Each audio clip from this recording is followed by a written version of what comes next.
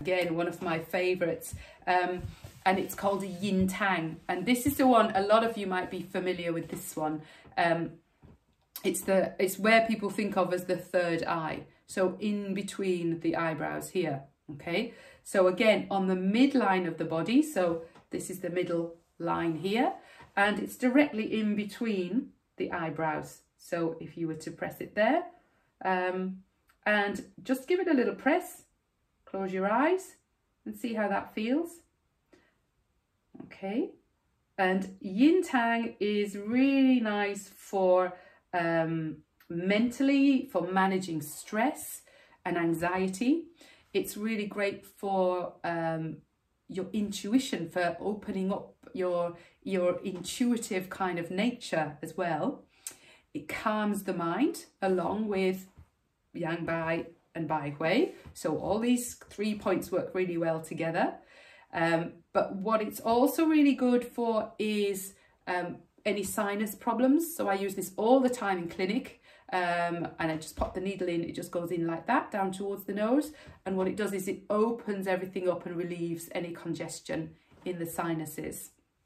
Um, there's a couple of ways you can use acupressure on it. So one is just literally to take the finger and just to massage like this. Um, but some people find it really nice to just work with a bit of tapping. So you can tap onto the point to stimulate it.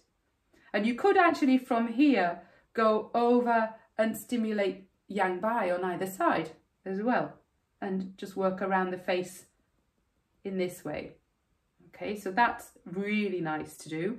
And if you do that for a few minutes, you'll find that this really does help to relieve any stress and just help you to feel a little bit calmer